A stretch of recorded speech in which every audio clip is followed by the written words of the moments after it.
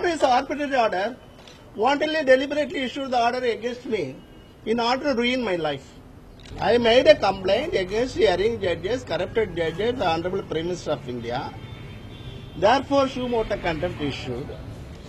The learned senior advocate Mr. Sandeep Bhushan filed affidavit before the Honorable Supreme Court of India stating that nine former Chief Justice of India have corrupted.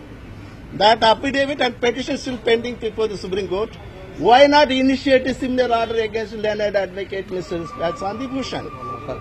Upper caste? I am Dalit.